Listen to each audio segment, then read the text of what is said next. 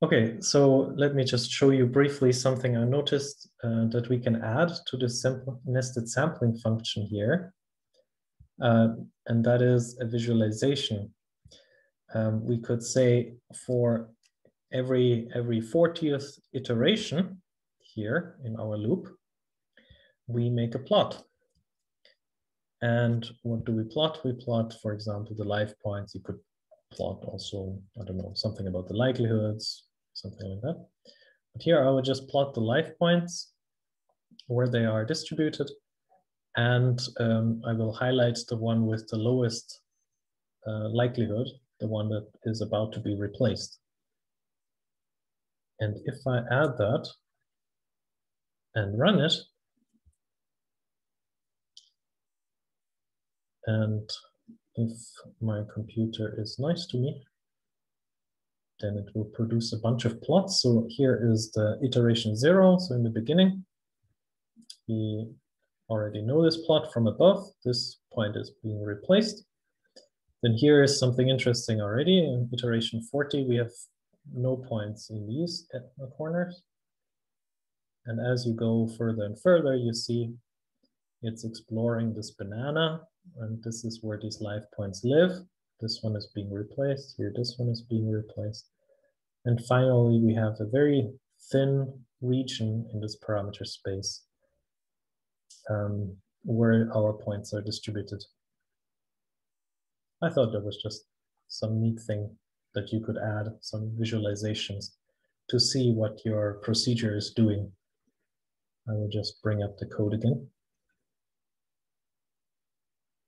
So here's just every 40 iterations, make a scatter point plot of the live points. Okay. Um, uh, maybe you maybe you could add a um, a fixed range for the axis so that one could compare better the, the plots. yes. Just an idea. Mm -hmm. Yeah, that's a good idea because you see it's zooming in to very narrow ranges. Mm -hmm. I will leave that to you to try.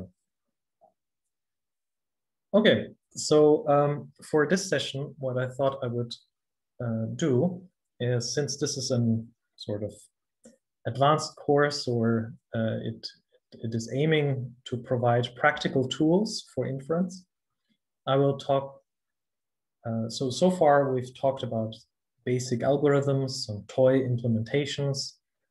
Um, and now I would like to talk about um, really robust implementations or ideas for robust implementations um, that you then can really use for your problems. And we already had one of these examples, and that is Stan, that you will use uh, very heavily next week.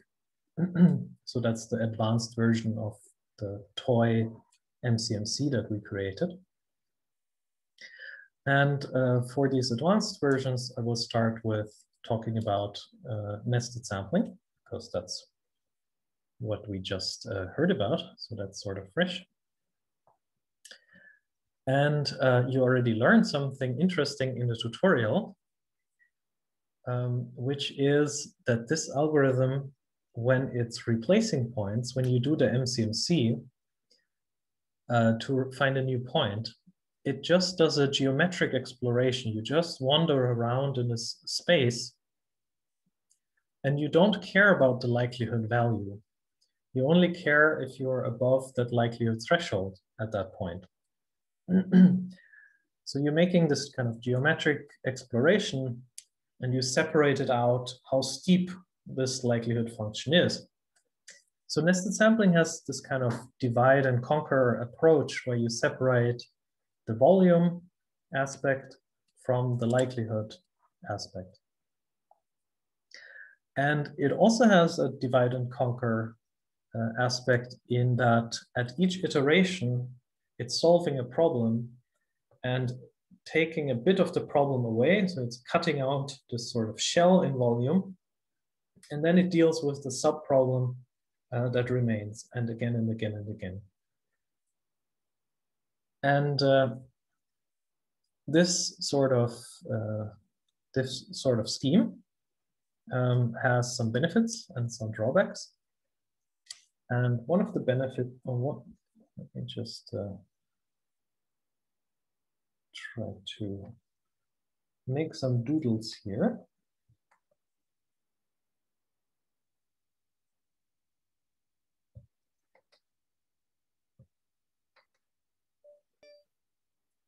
So we, if you remember the plot that Francesca showed, where here you have on one axis your parameter versus uh, the mode of your parameter.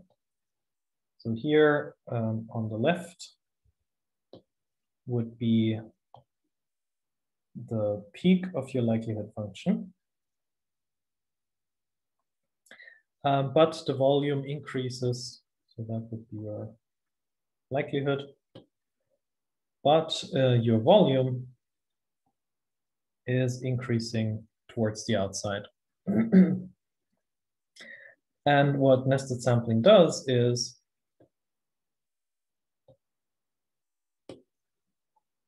it starts all the way out here with the entire volume and it slowly climbs up um, this likelihood and explores the space this way. And then at some point it stops because here the volume is small. It goes to zero as you go closer and closer to the, to the mode. So you see the, the drawback here is that you have to first cross all of this space that is completely irrelevant but because the, the likelihood is essentially zero there. but at the same time, you have the benefit that if you have your parameter space here and you have two peaks in this space, uh, in nested sampling, you you have this initialization procedure where initially you draw points everywhere. and so it's kind of a global algorithm. It explores the entire parameter space first and zooms in to the interesting regions. and um, so it is an algorithm that looks at the entire parameter space in some sense, of course, with some finite resolution set by the number of live points, but it has a good chance of finding both of these peaks. And so one of the benefits is this global um, exploration. and one of the drawbacks is this finding the posterior bulk, which might need quite a lot of iterations. Why do we need to do this phase here, this uh, initial phase? Because we want to do the integral. We want to do uh, our integral over the parameter space, z. Let me draw this again. z is the integral of our yeah, well, this is one way to write it. And uh, this integral depends on how large that space is, how large this important, uh, this important region is, this typical set is, relative to the prior. In MCMC, we don't care about that. We just go to where most of the posterior is. We can, our chain can skip ahead or we can even start it there somewhere near the interesting region. And we can just let it run around there. But because we are interested also in this integral, we need to know how, how large this region of the parameter space is relative to other regions. Okay, so how large this is relative to the entire space. And in high dimensional spaces, you it's very difficult to measure, but because of the nested sampling iterations, it sort of keeps track of this.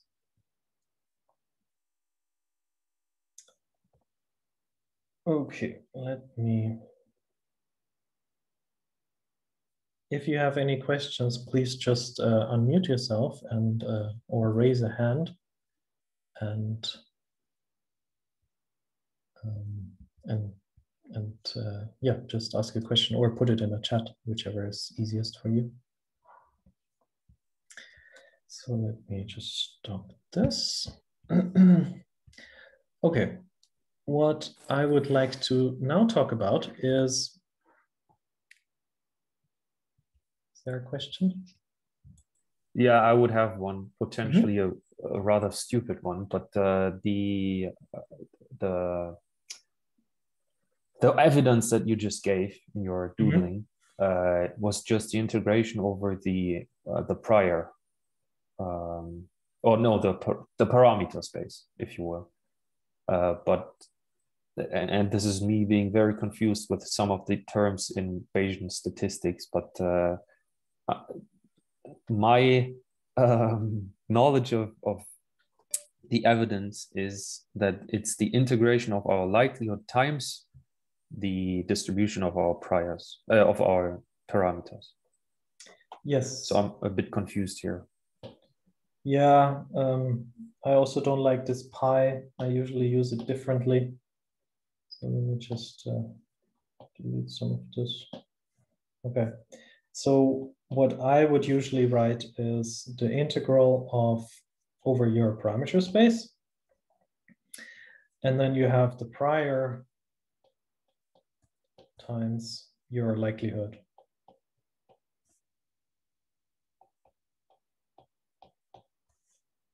Right? Oh, okay. And I I prefer the notation that this this is prior. I call pi the prior. But uh, yesterday, Francesca was showing pi as the posterior. That's your target function, your target distribution, which is the product of prior and posterior. Right? Okay. So yeah. it's different notations. Yeah. Uh, notations conventions are a mess. Statistic statisticians yeah. should really uh, try to make this a bit more uniform. I feel yes. like. Okay, thank you though yeah. for clarifying. It's, it's kind of interesting. So MCMC operates sort of on this object on the posterior, and um, well, it's not entirely a clear and fair statement. But for nested sampling, um, this volume is a separate, very specific object, and the likelihood is the other object it's it's it's operating on.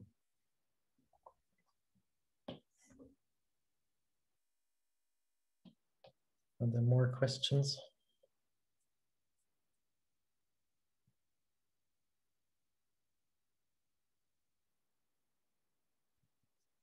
Okay.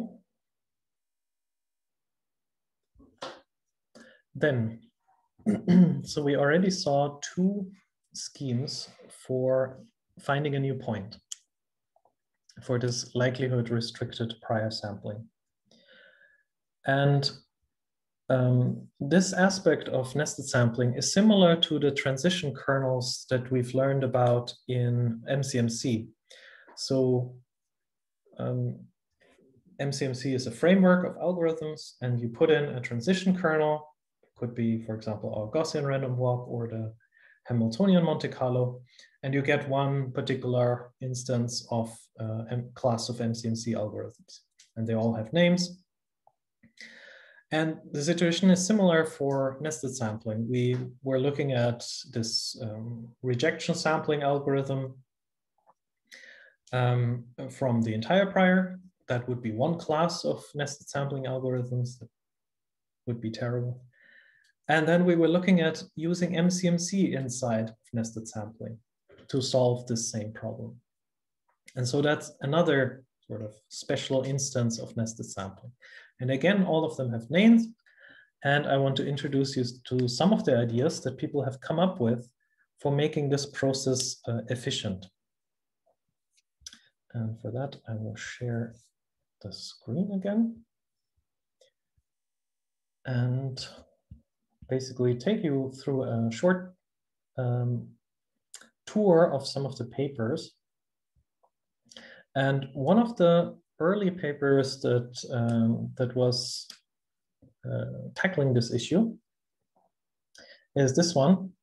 And they were concerned about uh, model uh, comparison in cosmology. And uh, so they implemented nested sampling and uh, they explain nested sampling and how it works, so forth. And here's their explanation. Okay, you have these contours and they correspond to walking up this likelihood versus volume plot. And here is um, somewhere here in details is what they introduce. The most challenging task is implementing how to sample uniformly from the remaining prior value without making a lot of overhead.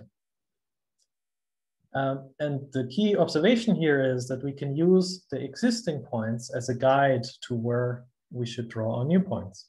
So what they do is they compute the covariance of the live points. So that's um, sort of their orientation. If you've ever done principal component analysis or something like that, it's sort of the, the orientation of these points. And then they, they find this coordinate system. And you can also use this covariance or this coordinate system to define an ellipsoid.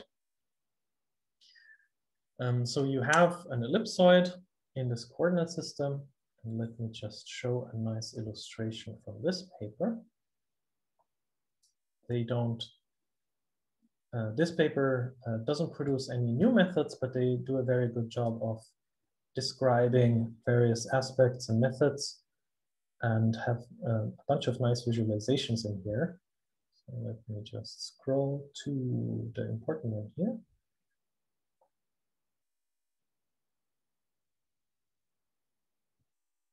Um,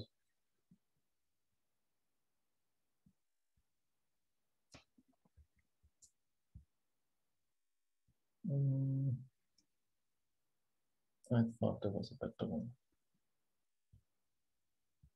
Then let me pick up the one from this paper.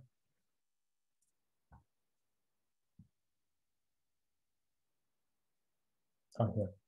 Okay, so um, the, the green here would be the ellipsoid um, that is oriented with the covariance of these uh, white points. In this case, this green one is not exactly touching um, these points, but is already a bit enlarged. But that's the idea. You, you define this ellipsoid around the live points that you already have lying around. And what do they do then? So they create this ellipsoid that touches the maximum coordinate of the existing points. And then they realize, well, so the real contours of your likelihood, you don't know these. They might not be exactly elliptical, so you have to expand by some enlargement factor. And um, they, they try out a little bit how large this has to be. And I think they have a plot somewhere here, they try a bunch of enlargement factors and they find that if you enlarge by a factor of 1.5, then um, the integral seems to uh, be stable. And so this is uh, sort of a practical solution. If you just use this ellipsoid to sample a new point from that region, then um, you, you can save all of this space and you sort of concentrate just to the neighborhood. And then, um, so this is, this is this rejection sampling. And here you would have a single ellipsoid around your existing points. And this gray region would be where you would try to draw new points. Of course, that's not very ideal um, for this particular problem where the likelihood contours are very complicated. So in this case, you have these two um, rings and you're wasting a lot of space here where your proposal will not be successful. So then came the MultiNest paper. And what they do is they apply a clustering algorithm uh, to these live points. And um, it's a recursive algorithm. It's, I don't know if you're familiar with k-means, but it's quite similar. It's called x-means. But the point is they cluster into ellipsoids and now they have a description with many ellipsoids of these live points that are already lying around. And again, they enlarge by some fudge factor and obtain uh, this region where they can draw proposals. And this is a very efficient algorithm and solves uh, many practical problems very well. And uh, then this one is the one I already showed you in the simulation, in the um, animation, which is that you make an ellipsoid around each of the live points and you find out how large you have to make those to, um, with leaving out some points randomly and making sure you always recover them. This algorithm is a bit slower. This is called RadFriends if you use um, spheres, hyperspheres. And if you use a covariance matrix of the, of the existing points, that is called MLFriends. and this algorithm is implemented also in the package UltraNest. and if this is the, the sort of the documentation page for this one, it's uh, open source package which implements the algorithm that I just described, and you can use it from a bunch of programming languages. And it implements nice things like parallelization and so forth. And you can find out how to use it, tutorials, and so forth. Okay. So these, all of these ideas that I just, just talked about use this concept of neighborhood from the existing live points. And it's sort of geometrically intuitive of what these, uh, how to go about this.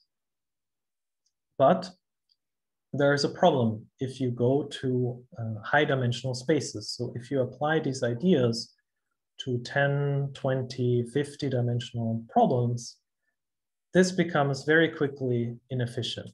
And the reason is that, so if you imagine an ellipsoid here, this one, um, if you're, so it covers some part of your space of interest. It covers some space of interest and then some region away um, from, from where you're supposed to sample. But recall that the volume grows exponentially as you move away in likelihood from your peak. So you're including, if you go to high dimension, this tail of your ellipsoid is actually extremely huge. In other words, you're wasting a lot of space by being slightly off here. And uh, so for high dimensional problems, the, all of these ideas uh, cannot work because this concept of neighborhood, this kind of metric of what is near and what is far is breaking down. So when you have these high dimensional problems, what you have to do is to use uh, a different method, which is to use something like MCMC inside nested sampling. And you've already seen one example of that. And there are a bunch of ideas that I want to introduce now, how to do this uh, MCMC approach. And I think they are shown here. So we talked about this uh, creating a bound and doing rejection sampling. That's not what we'll talk about now. We will talk about uh, something else. So for example, we did this random walk, you have a Gaussian proposal and you diffuse around in your space. Okay, and then there are different ideas of how you do this sampling. for example, you could pick an axis. You start from this point, you pick uh, your one of your parameters and uh, you make a slice through your parameter space and you try to find a new point on the slice that fulfills your requirement of being above that likelihood threshold. Then you repeat that with a different axis and so forth. Finally, you end up at a different place. This is called slice sampling. And if you randomize the orientation, you don't just go by the axes of your parameter space. This would be a hit and run uh, Monte Carlo. So these are also MCMC random walks. And then finally, you can also do Hamiltonian random walks within this. But remember, we are doing a geomet geometric exploration. So we don't care about the value of the likelihood. It only has to be above our likelihood threshold. So what ends up happening is we don't have any acceleration going on here um, because our target function is the prior, and let's assume the prior is flat, we always go uh, straight. We don't feel any acceleration except at the points where we reflect.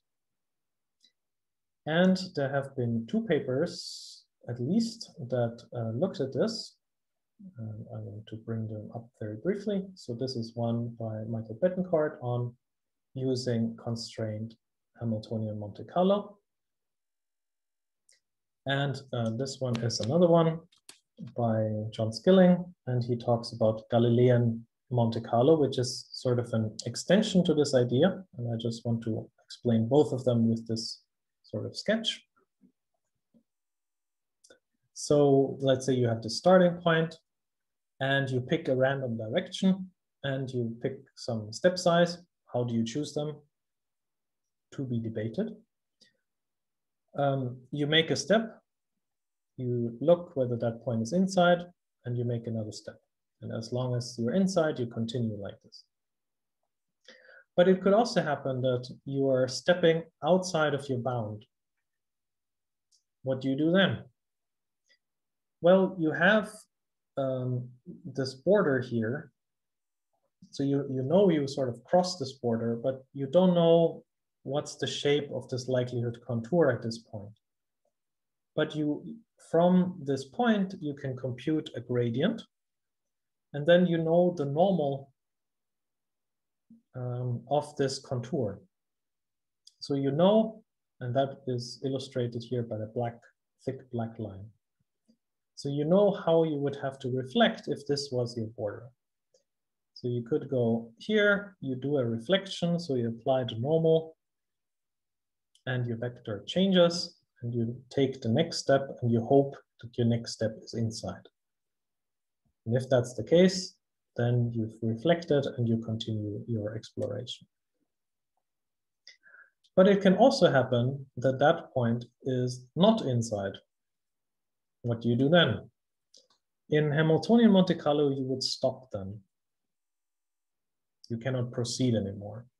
And what this paper suggests is Instead, you walk backwards. You continue your walk backwards.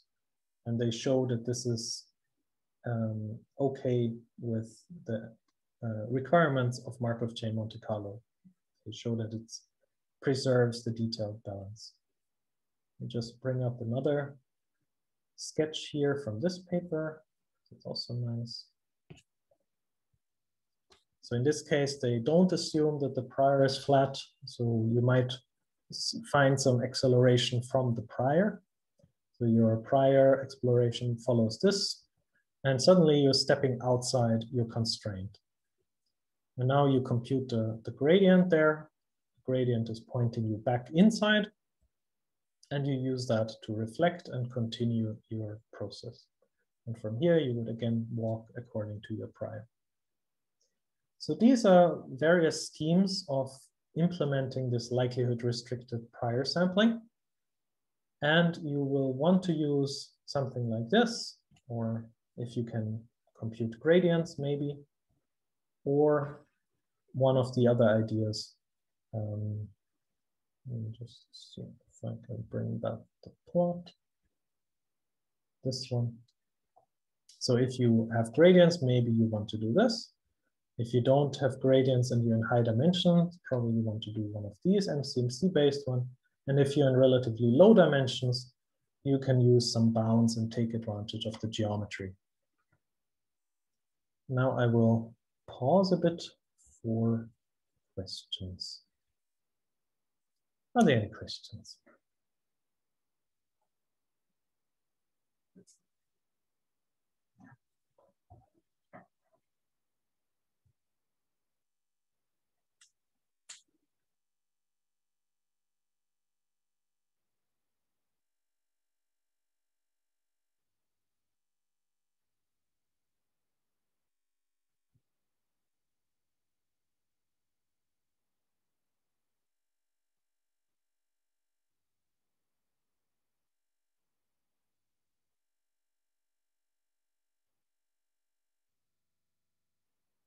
No questions? Okay. Well, if you think of some, please feel free to interrupt. Okay, so for the other algorithms, um, we also talked about the variance of the evidence. So for example, for um, importance sampling, we talked about how uncertain your estimate is of the evidence. And there is an estimator for that for nested sampling as well, but I didn't present it because it's a bit more involved and not as quite as intuitive. With nested sampling, you can also compute um, how what's your information gain going from the prior to the posterior. The information gain is directly related to how many iterations you had to do until you hit um, the bulk of your posterior. So now I want to talk about some diagnostics. We, we had some diagnostics a little bit on the on the importance sampling, for example, the number of effective samples that can tell you whether your proposal is efficient or not. And we learned quite a few diagnostics for Markov chain Monte Carlo. But for nested sampling, we haven't really talked about how do you know whether this algorithm is doing okay or it's running into some issues. And for that, I want to show, let me just close a bunch of things here.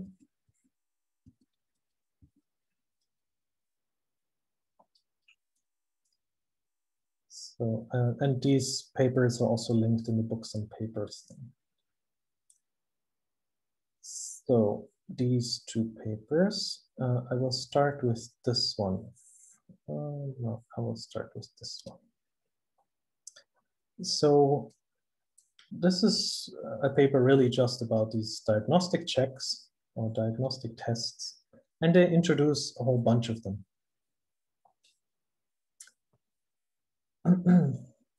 and um, let me just scroll through here. So if you have a biased likelihood restricted prior, prior sampling procedure, then you might have a problem because, for example, if your MCMC is not moving anywhere, uh, it's sort of sticking around where it started, then you will not sample unbiased in an unbiased fashion your likelihoods. And so your posterior will be slightly off. You can sort of notice that sometimes if you run uh, nested sampling a couple of times and you see that the posteriors are different depending on the run. So what they suggest is if you run several times and you notice substantial differences in the posteriors, then that might be an indication that something is off. And so here they show, oh, and um, additionally to that, um, you can also compute an uncertainty on for each run on the posterior distribution. How do you get that? Well, so we know that the volumes are distributed according to beta distribution, so there's already some uncertainty there. And if you incorporate that, you can produce a bunch of uh, posterior distributions for a single run. You can do this for run one and run two, and that's what they show here. And what you see is that even within, so in red here, it shows the posterior for run one, I guess. Uh, Johannes, is it just me or are you not sharing the screen? Oh, I'm very sorry.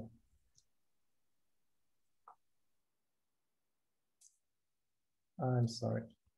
Okay, so I wanted to talk about this paper, NestCheck, which is about diagnostic tests for nested sampling. And it's all in this notebook, books and papers. These two is what I'm talking about now. So what they do here is they notice if you run nested sampling uh, several times, you might see some differences in the posteriors. And how significant is that difference? So, as I said, because the volumes are a bit uncertain, you can produce actually several posteriors for each run. So let's look at this first parameter here, for example. In one run, they get a posterior here, the red one, and they can quantify how uncertain it is given the limited number of live points. And in the second run, they do the same, they get this blue curve. And you see those uncertainties are not overlapping, so the difference is quite significant. You can also compute the means of these posteriors and look if they are quite different. And here is the blue and the, the red dashed line. So that, that's one visual diagnostic to see whether there might be a problem with your procedure. Here a bunch more diagnostic. This is the same plot, but just rotated. I will not present all of them, but one more I want to highlight, one diagnostic, which is um, that you also estimate the evidence, right? And if you run nested sampling a couple of times, you can also compute additional to the evidence and uncertainty on the evidence. I didn't show how to do that. But you can notice the scatter between individual runs, how much your evidence estimate scatters compared to this expected uncertainty. And that's what they, they plot here. If the, uh, basically it's the observed um, to the real, um, sorry, it's the, they do some weird ratios here where they subtract what they expect. But basically it's um, the observed scatter in the evidence compared to the expected scatter from, uh, from the uncertainties. And so if everything was okay, then they would get this uh, dashed line, but they see that um, they get a different value. So more simply speaking, if you run nested sampling a couple of times and you see that your log Z values um, are substantially different in each run, much larger than the error bars associated with them, that's a very good sign that something is off. And they discuss some more uh, quantitative checks, putting p-values on the significance of these things, and so forth. but uh, let me tell you about some another test, and this one is is is really cool. I really like this one, and um, and it's it feels very similar to how native uh, these divergence tests feel in HMC. This one feels very native for nested sampling, I would say. Unfortunately, it doesn't really have a good uh, visualization of what's going on. So let me just try to doodle on top of this. So, so when we did nested sampling, we always found the point that had the lowest likelihood. And so you already have this set of points and their likelihoods. And you can imagine keeping them sorted.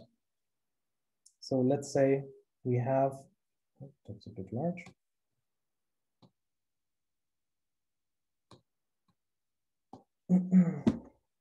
let's say you have your array of your live points And you keep them sorted. So here is the lowest one that you're going to replace. So this one's gonna die. And you are sampling a new point. This is zero, this is n. And you're sampling a new point. And this new point also has a likelihood. And now we ask the question, well, if you keep this sorted uh, array of live points, where would you insert um, this new live point? Would it land here or would it land here and so forth? And so you can keep track of this index of this uh, order, this order in this iteration. And what we expect is that um, because we are sampling according to the likelihood distribution within that volume, that we might sometimes end, end up at these very low points, uh, low orders, and sometimes we end up here and sometimes in the middle. So we expect that it would be uniformly distributed. And that's what this paper is testing is that insertion order uniformly distributed? And you could imagine, for example, if you started your MCMC chain, let's say you start your MCMC chain from the lowest point, and you're walking around in your banana, and for some reason, uh, you're replacing this point but your MCMC is not being very efficient. It's dragging its heels. It's not going anywhere. It's just staying very close to where it started. Okay. And so you haven't moved very far in likelihood, perhaps. And that means you will be inserting, you will be inserting this blue point somewhere towards the lower orders. And so if you make a distribution of these orders, it would be biased to low orders. And you can test for this um, and, and see if it deviates from this uniform distribution. and then you recognize that there might be an issue. And uh, when, how do you do these tests? Well, let's have a look inside the paper. Um, this will now be on top of these uh, sketches, but anyways, and they, so what they do is they artificially pick uh, methods that they make a little bit worse. So they choose an MCMC that doesn't work very well, and they, they sort of use this ellipsoidal sampling, but make the enlargement not big enough and then they try this method and detect it in various dimensions and see how well they can detect it. And what they do is um, they have this rolling p-value. So they do this test uh, every, let's say, a few hundred iterations. You, you check if your distribution is okay. And they also test it once at the very end. So that's that's the idea of these um, this diagnostic. I think it's very good. I think it's very cool, cool idea. In fact, it's such a cool idea that I, I did uh, suggest something similar afterwards, after I read this and was very excited about it. I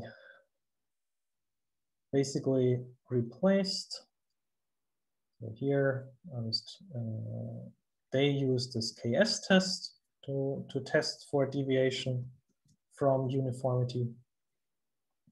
But you can also use a test that knows that these values are integers. The KS test in its standard form is just for continuous variables, although there are some uh, extension. But you can use this Wilcoxon uh, U test and that is meant for integers, and then it's slightly uh, more sensitive. But the difference is very minor. doesn't make a big difference. So I will stop here again if you have any questions about diagnostics on nested sampling.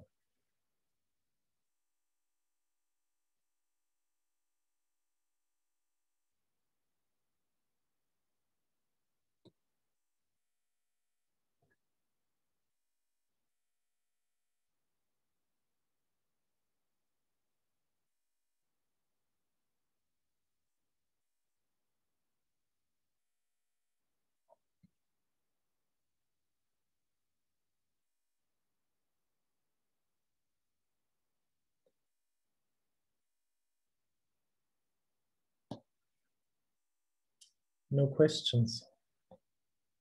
Everyone asleep or equally confused? Or it's all clear so far?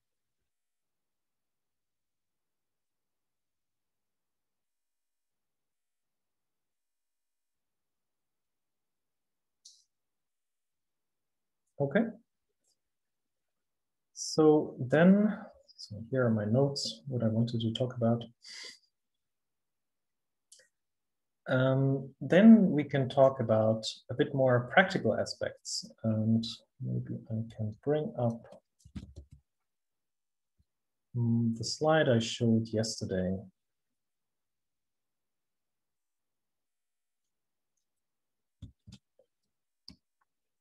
Which is this one. So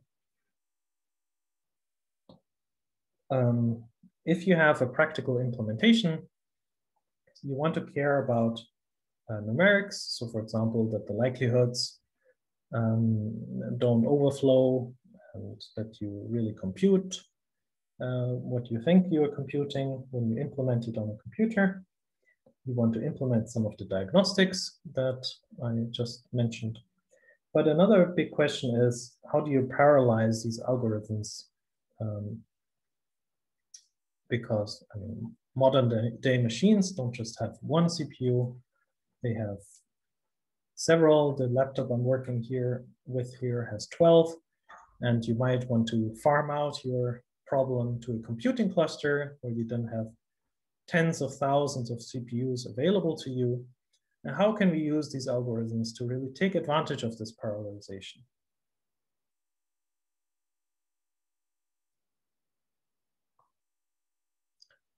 And uh, for nested sampling, there have been several ideas suggested. So let me just jump to that. So parallelization. So first of all, you can, of course, do parallelization within your likelihood function because it can be arbitrary code in there. That's sort of the boring part. Um, when we do rejection sampling, and that rejection sampling is very inefficient, and we've seen this before, we did a thousand points where we try to see if we can find one that is, that is above our likelihood threshold. We can farm out this procedure to many CPUs. So this is parallelization when the efficiency is low, low and this is what the MultiNest code does. It, it just gives each of the cores the task to sample from these ellipsoids. And the first successful draw then is returned to the main process and nested sampling continues. What you can also do is you add and remove several live points at once. And then you, have, you can farm this out and uh, proceed that way. Uh, we already mentioned uh, in the morning session that you can have multiple independent runs and later merge them. So then you have obvious parallelization right there. And so these are the main um, ways you can parallelize nested sampling.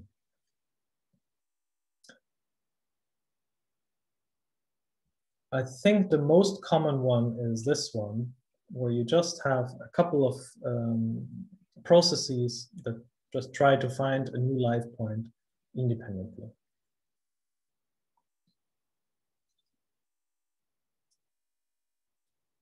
And uh, let's think for a moment back to importance sampling. How do we do parallelization there? So for importance sampling, all of the points were independent. So you can just trivially farm it out to a computing farm. They don't have, the, the individual processors don't have to know anything about each other.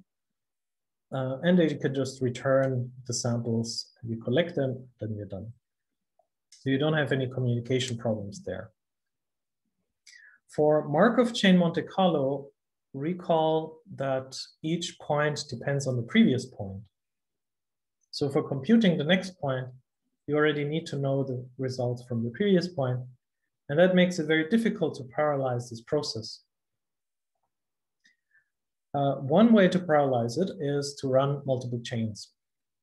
And that's, I think, the, the standard approach. You have independent chains, and afterwards you look at how these performed. And you can combine the posterior samples from the uh, trivially again. So this is something I wanted to mention about when you go from toy problems to real um, software implementations and you really care about uh, taking advantage of the computing facilities that you have available to you. And now I want to talk about some differences between those three algorithms in terms of initialization, running, and termination. So for Markov chain Monte Carlo, we mostly talked about how do we update from one point to the next point. So we were running and improving and so forth. We had a bit of talk about initialization. Um, so where you start your chain, hopefully it doesn't really matter. But now let's think about uh, nested sampling um, in this, in this part. So the initialization is very natural in nested sampling. You sample from the prior and you basically look at the entire uh, in all regions of the parameter space. So you don't have this separate uh, starting point. You, you, you, you just use the prior to, uh, to start your population of live, live points. And then you run. Um, and finally, there is a termination criterion. And so for Markov chain Monte Carlo, this was sort of a bit uh, handpicked because we just said we have some number of iterations and then we check whether um, our chain is good, whether it's converged, whether this is sufficient. And if not, I guess you change something about the algorithm or you run longer, maybe you double this length. Um, but here for nested sampling, you don't have to use the number of iterations. In fact, it was the exercise uh, one. You can terminate at a very natural point, which is when the volume becomes uh, basically zero. Then you've explored this parameter space um, sufficiently well. So at that point, um, the region where you have very high likelihood values is tiny and you can stop. So it has this very ni nice natural termination point in nested sampling. But of course, people have come up with a ver variety of termination criteria.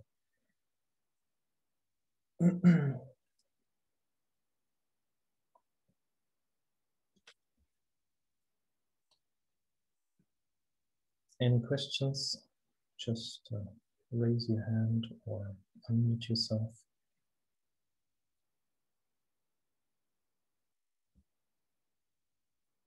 Francesca. Hi, yeah, just thinking about termination criteria. Uh, so in principle with Markov Carlo, it's there exists this guarantee that asymptotically samples from the chain, if the chain is valid, will approximate the expectation values that you're interested in or can be used to approximate those values. And in the limit of n tending to infinity, this um, connection is exact. So then, of course, the problem is when do you stop? What's enough n? And this we've talked about. Uh, but I'm curious with nested sampling if there's some kind of similar asymptotic guarantee or if it's a kind of different motivation. Yes, uh, there is. Uh, let me just bring that up because I think that was also asked before uh, in a slightly different way. So I think I will just uh,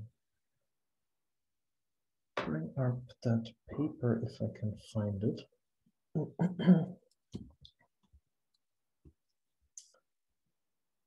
and I would refer you to this paper.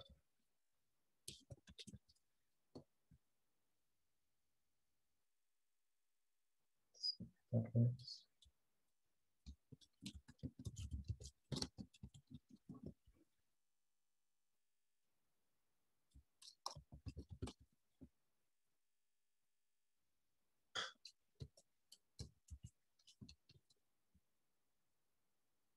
This one.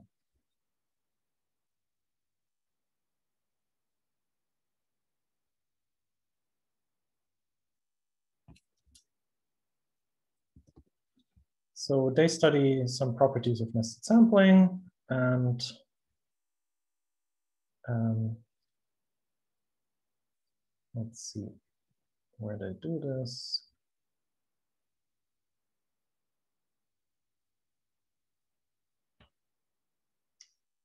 I'm not sure if I can find the exact point now.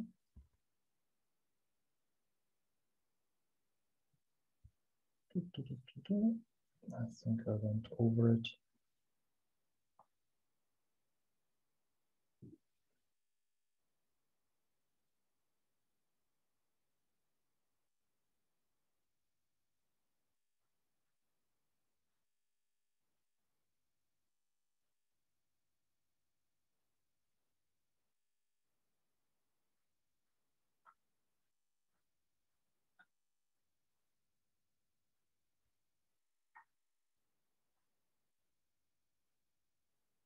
I think it's this one. so what they're saying here is on the left, you have this theoretical concept that you were talking about, that you have some, some function, some estimator. And um, on the right, you have basically what nested sampling is actually doing. It's weighing with this, uh, the volume and the, and the likelihood um, so that would be your posterior weight, some function at that point. And what they are proving in this paper is, I mean, um, that paper does other things as well, but what they're proving is that this, this estimator uh, is equal to what nested sampling actually does. Does this address your question?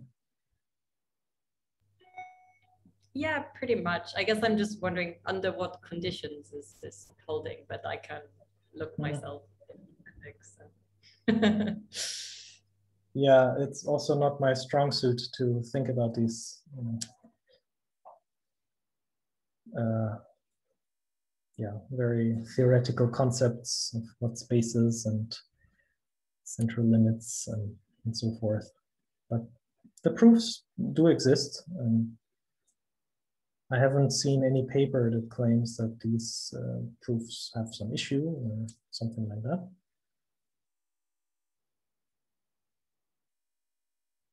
There is also uh, this other paper that you might find interesting. If you're interested in these um, foundations. And that is, that comes up.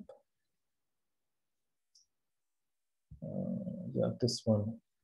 So where they try to rephrase nested sampling in another framework that has been studied for more, for many more years, which is sequential or population Monte Carlo. And the nested sampling isn't exactly a subset of this, um, but you can use some of the theorems that have been developed from that framework and then make some proofs that, for example, the evidence converges to the true value. And yeah, so if you're interested, this is another paper written by statisticians and they show how you can make a nested sampling procedure that is unbiased, so the evidence estimate or the posterior estimates um, are not off in the limit, and they are consistent. So this is another important theory paper if you want to have a look at, at these properties.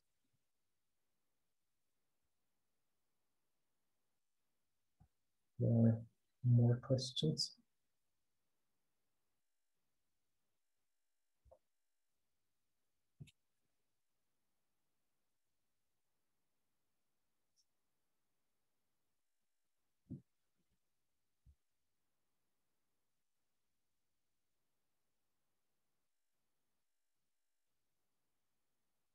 Okay, so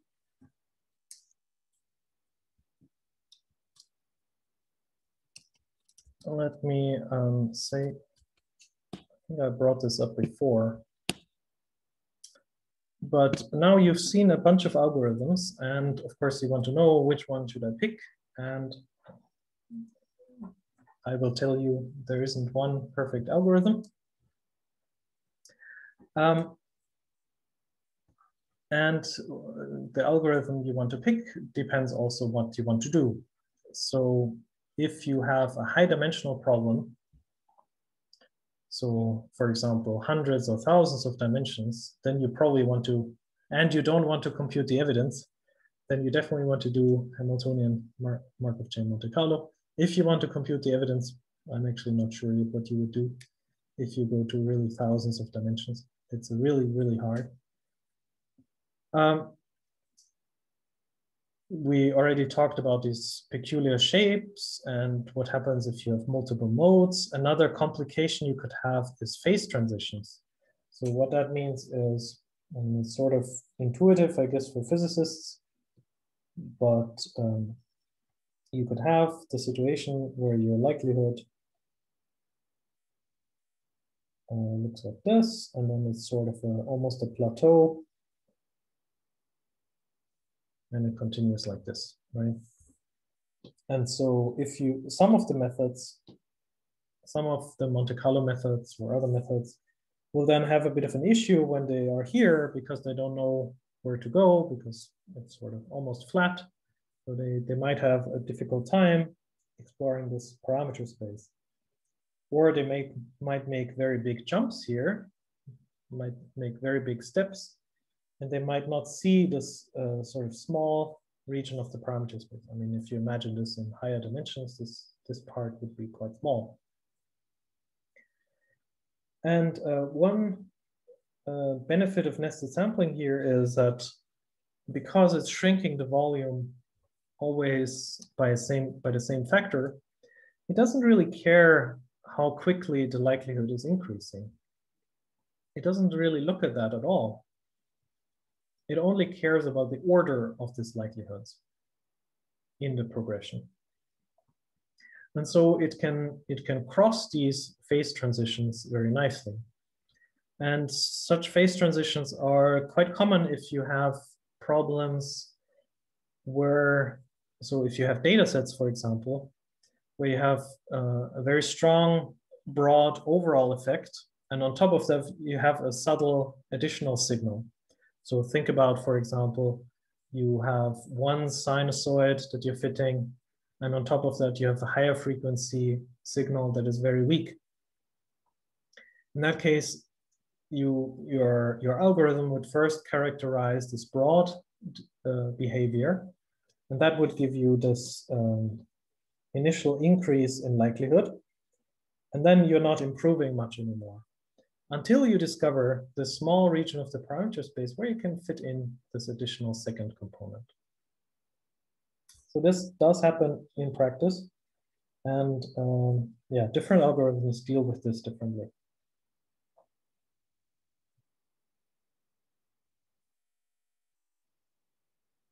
Uh, as you might have already noticed, I quite like nested sampling. um, uh, that said, I use Stan almost daily. And there are very strong points about using Hamiltonian Monte Carlo. It's, it has a very good foundation. It's, uh, it's very efficient. You have the speed. It also scales to high dimensions. So if you add parameters and complexity to your model, it, it goes uh, with you. And it has these nice diagnostics where you can identify when your algorithm, so your algorithm knows by itself when it's going wrong. Nested sampling is a bit of a younger field. And so you saw that these diagnostics are still being developed. Um, and this is kind of something I like about it. There's still opportunity to make contributions to it. Um, and yeah, I, I, also already mentioned the other aspects like multimodal problems. This is something that nested sampling is quite good at. But now let's think about using HMC and, and these uh, physical metaphors uh, within nested sampling. So uh, can, you, can you do something a bit more complicated than the HMCs that I mentioned before? And I will not go into detail here, but if you're interested in this, then I would recommend to you this paper, uh, Nested Sampling with Daemons. And what they do is they phrased nested sampling algorithm in the same language that we heard yesterday, in this uh, language of statistical mechanics. And they make a very nice and interesting addition to this problem. So um, so we had before that we have our likelihood contour and we have within that already some posterior samples. And we want to find a new point. And so we've we've been playing with MCMC to walk around in there and, and, um, and reject when we hit this likelihood boundary. But the problem here, or one maybe not so nice thing is that you don't know if you're close to the boundary or not. You're not really using any information that how fast the likelihood is decreasing to guide how you would have to walk. So it's just geometric whether you're inside or whether you're outside. And this paper suggests, well, can we make this border a bit fuzzy? Um, is, is there a way to do this? And similar to what you saw yesterday of introducing auxiliary variables, they also introduce an auxiliary variable. They add one more variable to the parameter space. And what do they do with that? They allow the algorithm to stuff some of the likelihood in there to hide some of this energy. And that washes out this boundary contour. And what you can show, similar to what we saw yesterday, is when you uh, marginalize over this daemon variable where you store away some of this energy. When you marginalize this away, you again end up with uh, basically what nested sampling would do normally. You end up with the same uh, posterior as if you hadn't introduced this additional parameter. But what this really then allows you is to have guided walks that sort of look like like this. So if I can draw that. So you could, uh, this is not a very good illustration, but you could sort of slowly cross that nominal boundary and be guided to be uh, to have an indicator that oh maybe you shouldn't go in this direction maybe uh, try to deviate back into where your region of parameter space is supposed to be. And now you can use uh, Hamiltonian Monte Carlo uh, much more nicely within nested sampling. And you can decorrelate your walk. You, you don't have this diffusion behavior where you just walk around randomly in some small region here. You actually can cross large parts and you're not always making the same step size, always forgetting uh, about the likelihood because you can't use it. You just test whether it's inside. You actually can cross this parameter space. And it's an interesting uh, research avenue whether you can combine this idea with NUTS, for example, the no U-turn sampler, and uh, look at this extended nested sampling with these Hamiltonian uh, H, uh, Monte Carlo um, with this daemon idea. So uh, if you're interested in HMC, this is this is definitely an interesting um, area to go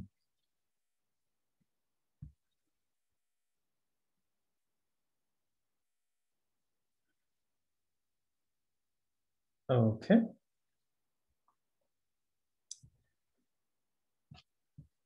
So I would now like to stop talking about nested sampling. I think I've talked more than enough about this example. And I would like to briefly, very briefly, talk about importance sampling. What are some advanced methods there? And then I want to talk about MCMC methods that don't use gradients and are quite popular and how they work and what their limitations are. But before that, again, I will give you opportunity to ask questions if you have any left on Uh, nested sampling, anything about nested sampling. Really.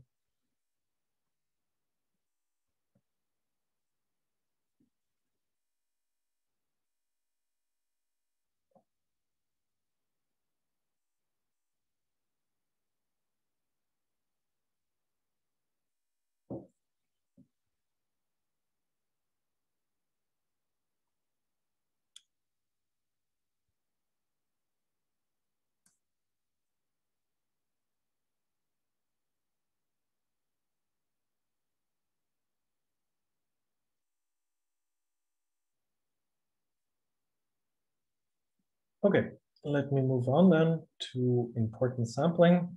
I actually don't know exactly what's the most advanced methods here, but I just want to illustrate one of them um, that I found interesting. And it's actually a paper from people at the campus. And it's this one. And they are wondering how we can we construct one of these proposal distributions for importance sampling how can we do this efficiently?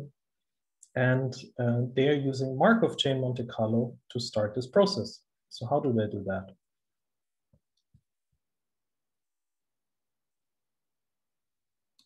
Okay. So let me just scroll to the illustration. So they have a particle physics problem um, which they are having difficulties with, um, and they want to find algorithms that can deal with this. And for this, they define a toy problem that sort of behaves very similar to their real problem, but is faster to evaluate, easier to work with, uh, and they test their algorithms on this. So they use this uh, toy problem that we've already seen, that we've already seen, and it's basically these two rings. So you have multimodality, two modes here, and they have weird curvature. So you can imagine if you take half of this, you have your banana. and here you also have some weird curvature. So how can you uh, make an algorithm that that explores this uh, this um, posterior efficiently and covers both modes? And they had problems, I guess, with Markov chain Monte Carlo. I guess they cannot compute gradients either. So they're thinking about how they can go about it. And so this is their approach. Um, they first, so here you would see, they first run Markov chain Monte Carlo, I think with a Gaussian proposal like we did. And here you see the posterior for one of these Markov chains you see it, it, it walked around here, but it's not efficient enough. It didn't cover the, the space here very well. And so it's, it's, it's biased, but it found this, this mode. And another chain found this mode, um, but didn't jump to this mode. And so what they do is they run a bunch of chains and some land in the left one and some land in the right one. So here in this particular instance, five landed here and three landed here, and you get their posterior distribution. Then what they do is each chain, they cut into chunks just like we did before. Let's say you have your eight chains and you cut them in, let's say five chunks each. And then from each chunk, you can have, you can compute a covariance, which you can associate with an ellipsoid. And so imagine that these are the ellipsoids for each chunk. and now what they do is they apply an algorithm which improves these clusters or improves this ellipsoid. It optimizes these. Um, and here you see the optimization result. And how is this process done? How can you optimize some proposal distribution? Let's say each of them is a Gaussian. How can you optimize some existing proposal distribution to uh, fit better, to be, describe better your target, your target function? And what they use here is expectation maximization algorithm. Actually, there are two algorithms that are very closely related. They just opt essentially they just optimize for different things. The expectation maximization algorithm is a bit more rooted in maximum likelihood methods, and the uh, and there is variational Bayes, which is a different uh, algorithm. And that one optimizes what we've already heard about, optimizes the information gain, the Kullback-Leibler divergence. But let me just stick with um, expectation maximization for the moment. So if you have, and just use this illustration, I will not go through the algorithm, but if you already have a guess for for example, here Gaussian um, components. Here you have two Gaussian components and you try to describe these samples. You can use the density of these Gaussian uh, proposal and the likelihoods of these samples to optimize, to make a new guess for what your parameters of these Gaussians are supposed to be.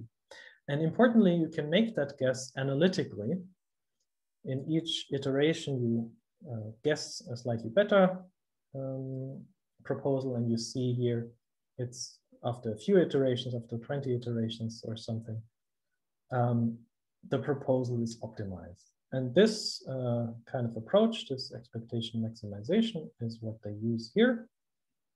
And finally, they end up with a very nice decomposition of their posterior, where you have these uh, components. They are optimal for this target function. And now they use this Gaussians to do importance sampling and they finally get a bunch of posterior samples and they're happy. So this is a rather elaborate scheme that these people came up with. I don't know if this will work for other problems. I don't know uh, how robust this is, um, but you could you can see that you can combine a variety of schemes here um, and, and get some algorithm that is sort of tuned for your particular problem. Um, I also want to show here that they make a comparison uh, on the evidence integral. And their method here is in blue. They get quite small uncertainties because they use a lot of samples and their proposal is great. And they compare to MultiNest here, which is this multiple ellipsoid um, nested sampling technique.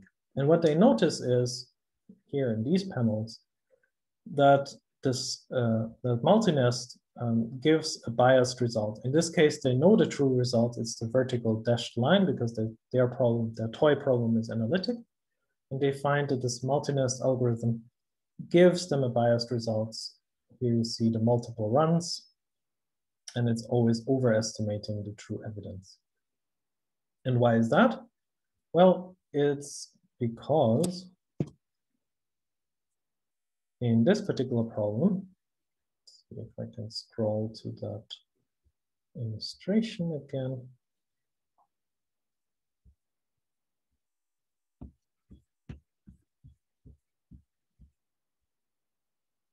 Here's uh, one illustration. So it could happen if you make this ellipsoid decomp decomposition. So here we have one ellipsoid in blue dotted, and here here is the second ellipsoid.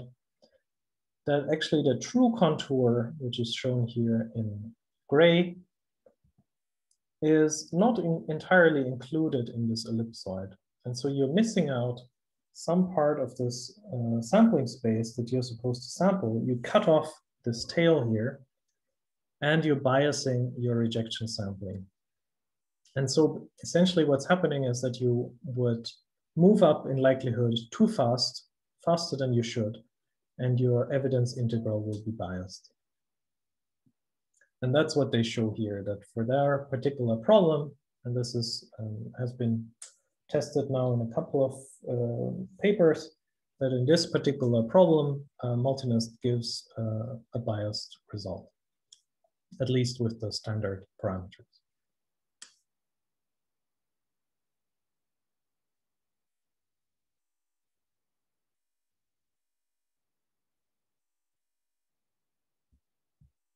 Okay.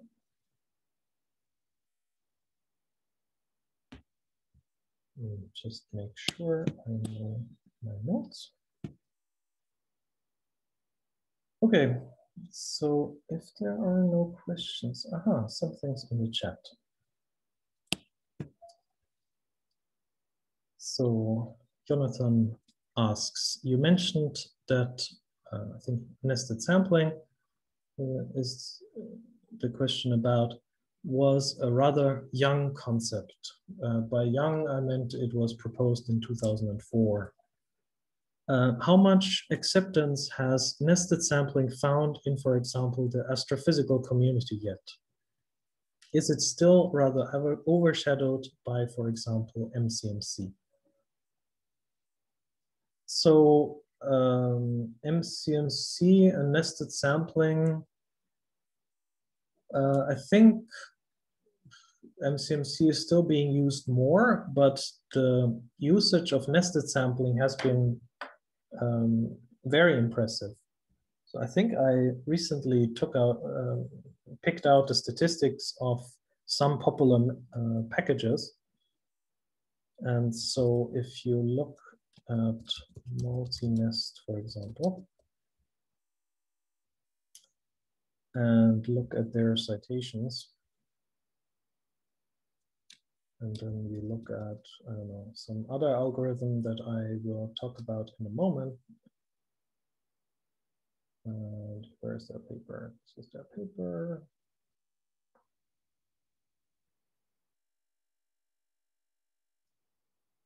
Okay, so you see emcee, for example, has 5,000 citations, so that's a lot and MultiNest has 1,600 citations. That's also not bad, I would say. Um, but I would say that's about the ratio.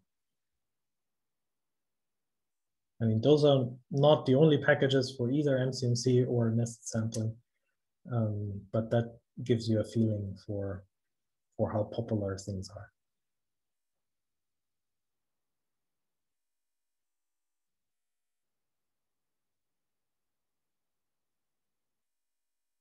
Okay, more questions?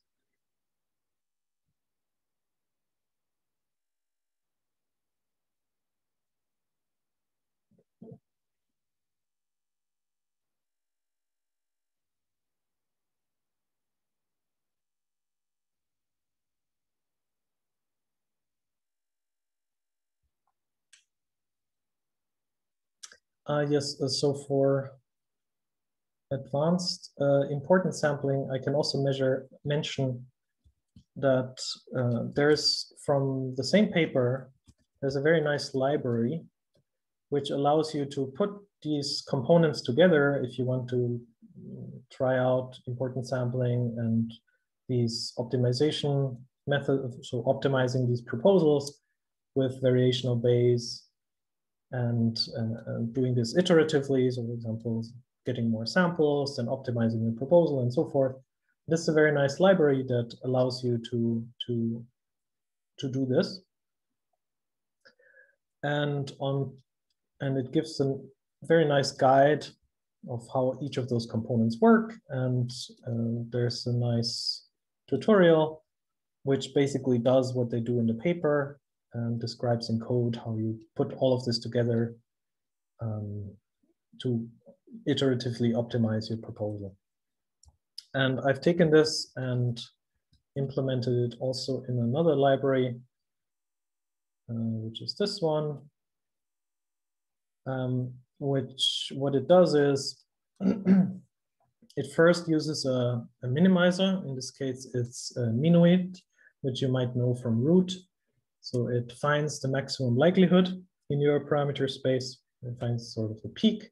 Uses another algorithm to define how what's the local covariance matrix, what's the, the so with finite differences, it finds what is the structure at this point, and then it creates proposal distributions around there, um, tries importance sampling, um, and um, and then iteratively improves with variational Bayes this proposal.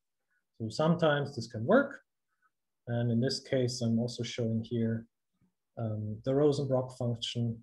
Um, in black, you see the posterior samples. But even though this function is not Gaussian, it did a pretty good job at drawing posterior samples from this. So that is something you can use, although it has efficiency limitations that we already talked about. So now let's talk about MCMC and advanced MCMC, but without gradients. okay, so I want to talk about Goodman and Weare, which is a different proposal for Markov chain Monte Carlo. And they had a nice paper in, when was this? 2010. And they proposed um, a method to update their um, to, to further their Markov chain Monte Carlo to find an, a new point. And the crucial ingredient here is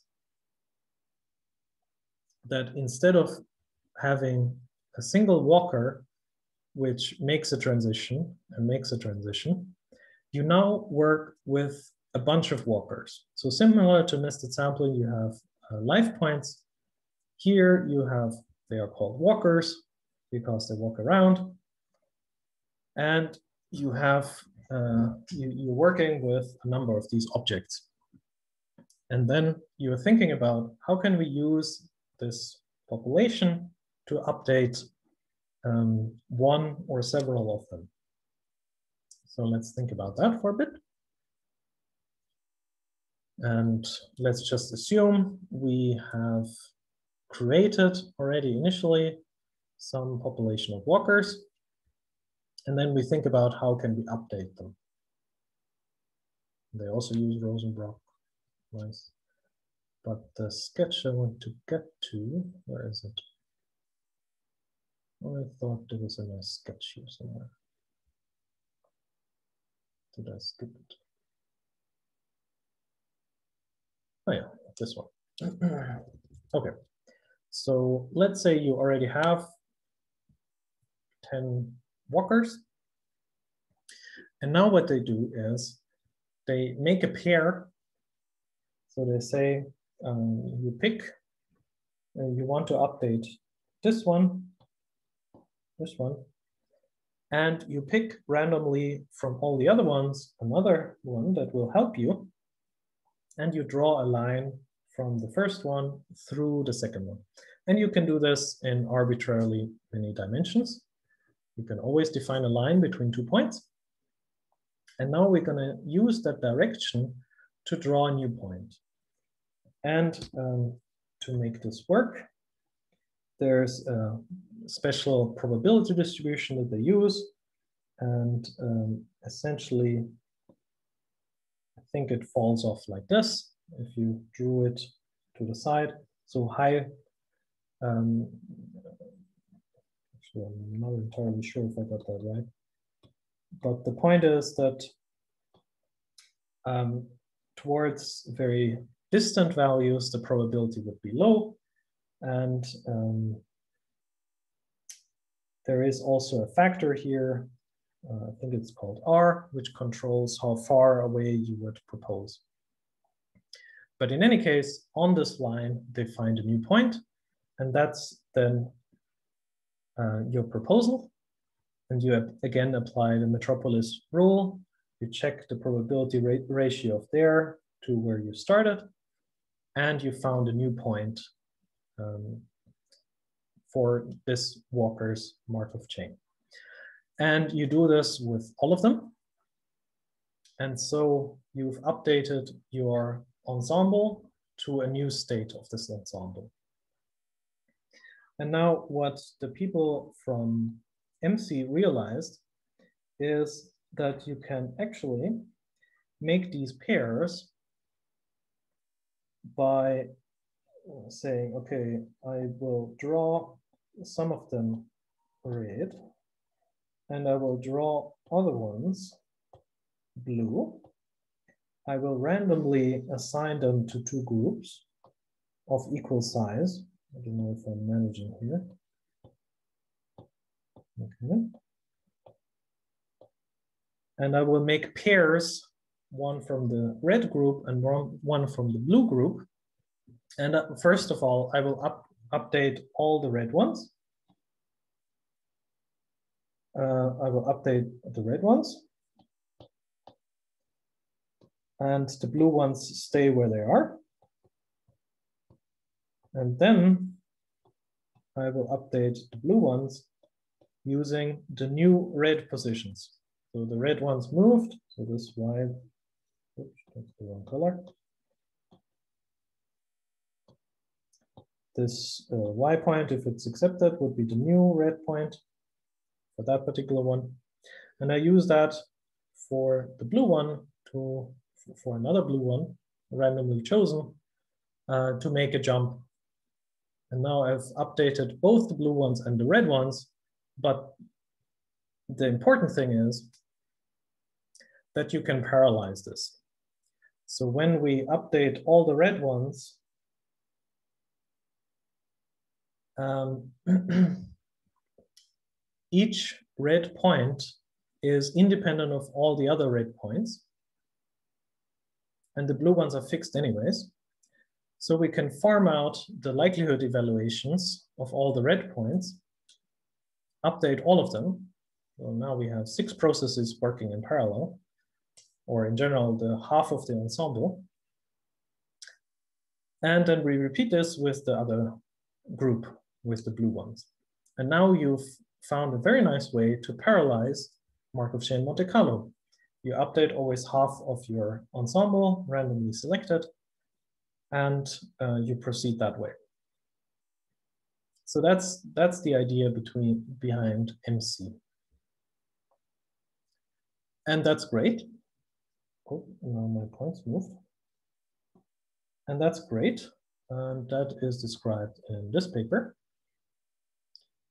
So they they um, take advantage of this parallelization. Oh, and I should have said something quite important, which is because you're using these pairs of points,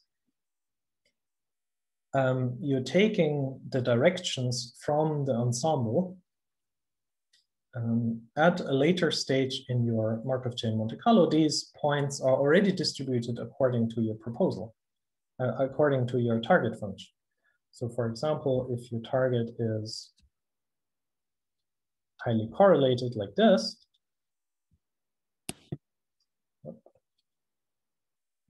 your points will already lie within there somewhere. So the lines you will draw will be quite good at capturing this local uh, correlation. You will not draw very many lines like this and not very many lines like this, but you will draw mostly lines sort of in this direction. And that's where the idea of affine invariant comes from. If you rescale this problem, um, this population of walkers would run as efficiently. So it's insensitive to any affine trans transformation because of this line proposal.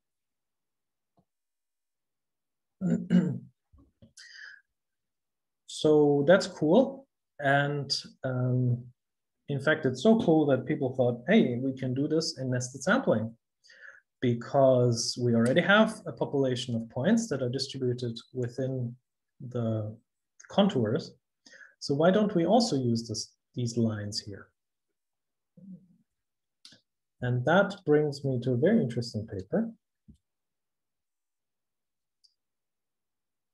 which is not related to nested sampling, don't worry. It is, where is it? It is okay. So it is properties of the affine invariant properties of the affine invariant ensemble sampler in high dimensions. So I will not go into a lot of detail here, but I want to just convey you basically the conclusion of this paper. Uh, how this, uh, this algorithm, this emcee or um, more generally this um, Goodman and Weare affine invariant ensemble sampler, how it behaves in high dimensions. And they say in high dimensions, the stretch move, this is what we discussed before, has unusual and undesirable properties. And they use a, just a simple Gaussian toy problem with known mean and covariance to inspect this. And what they're basically finding is because you, you're always using these lines and um, uh, between pairs of points, what they're finding is that if you run this algorithm for many iterations as um, in, for example, a 50 dimensional problem, what they're finding is that these points tend to collapse to a subspace. So you're not able to propose in all possible directions anymore. All your points are not linearly independent anymore in some sense. Um, and so your proposal becomes biased. And they also say that in trace plots, you cannot see this. So there, there is an issue that even the diagnostic doesn't tell you about it. But um, they're able to see that um, in the posterior, there is a bias. even though the diagnostics say it's okay, um, this proposal has some issues in high dimensions. And then they have some theoretical analysis of this proposal to analyze why this, this happens and under what circumstances. So if you're interested in this, uh, have a look at this paper, which looks at the limitations of this emcee algorithm or Goodman and Weare proposal. And uh, yeah, I will not go into detail, but there's another ensemble method, um, which is, which also has a friendly package, um, and that's ensemble slice sampling. That's another MCMC algorithm that doesn't use gradients. And their idea is to use slice, slice sampling. So you start out here somewhere, you put a slice through your parameter space, so you pick, for example, a parameter, you pick some point that's surely outside, uh, far away, and then and you pick uh, a height. So you have your likelihood or your posterior density at this point. You pick so randomly, uniformly a height, and then that defines this sort of slice, and you walk around on this between the a point that's certainly outside and the one that's certainly outside on the other side, you try to find a new point on this slice. And that would be the green one here. And you repeat this procedure. But the nice thing about an ensemble is that you can actually use the directions again. Now, does this proposal have the same properties as the other one? I think nobody knows. Um, maybe it does, maybe it doesn't. but what they show is at least um, it's it seems to be much more efficient than uh, either the Metropolis Hastings uh, Gaussian proposal or simply doing slice sampling on one walker if you use the ensemble to propose directions. Um, you take advantage of this knowledge of the local structure and it sort of works. Here's the funnel problem. And yeah, so this is another algorithm that seems to be become or package that seems to become popular and that's called Zeus. So I think I went through a lot of material and I think I'm done with what I wanted to talk about. And what I really just wanted to convey to you is that it's an interesting research area. Um, there are many open questions. Um, there are very different approaches of how to go about these inference algorithms. And you can, as you saw, you can also mix and match. You can combine approaches from various uh, techniques. And um, there are relatively mature uh, software packages available if you just want to apply them. Um, I hope I gave you also a sense of what diagnostics are available for these various tools so that you can try out a bunch of tools and see how they behave for your problem. And maybe you can study um, how they compare, how efficient they are, do they give reliable results, so forth. and uh, for the homework exercises, uh, especially the big homework exercise is about making this comparison, uh, trying out two um, at least two methods, ideally one of these uh, advanced packages, and see how they, uh, how well they work and, and how they behave on your problem of interest. Okay, um, I see that maybe there is something in the chat. Oh, yeah, that I already answered. Yes, so I think we've reached uh, the end of what I wanted to cover in this uh, blog course. I hope it was useful for you. And I will just uh, stop here and take any remaining questions.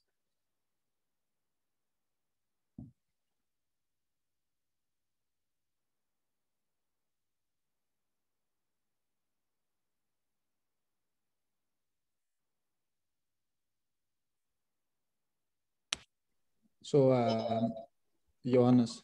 Uh, uh, thanks a lot. Um, I just a very short question. What package do you use mostly? Yes, so I use uh, Stan quite a bit. And uh, other than that, I mean, this is uh, very biased, of course, but I will tell you anyways. Um, I mostly use UltraNest. And this is a package that uh, I developed and it uses this algorithm that I also showed you in the visualization.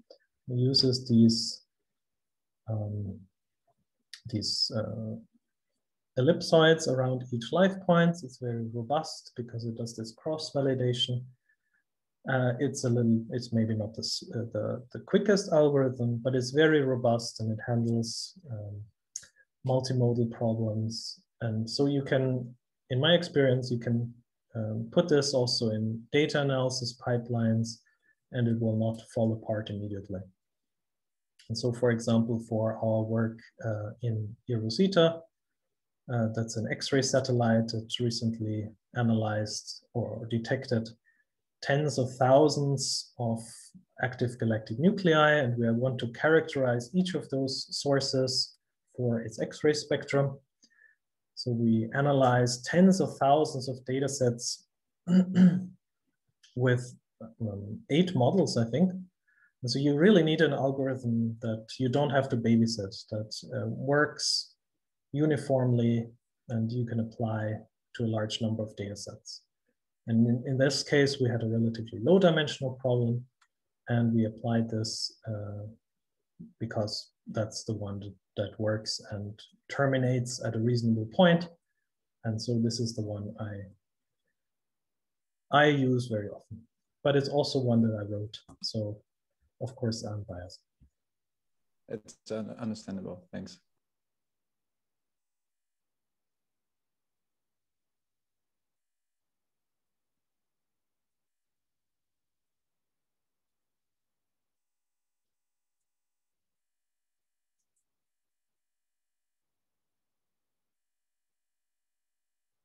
Okay, um, well, thanks a lot. It's been a pleasure to have you in this course. It was uh, very active. I was very happy with the breakout rooms, uh, how you all participated. Um, thanks a lot for your interest. I hope it was useful for you, for your research. In the next week, we will learn about, so we have some method which does posterior samples. Um, in particular, we will look at STAN, and we will be just applying this method and see how we can actually um, encode our research problem, make it more complicated, uh, diagnose what's going wrong, uh, make predictions, uh, change our assumptions, and all of this, how we go from, from a science question to a conclusion, how we really implement a Bayesian workflow with one of those tools. so we will continue on Monday at 10 with Francesca leading the block next week. And I will close here. You are welcome to stay online if you have any more questions, but uh, that's it for this week. Thank you.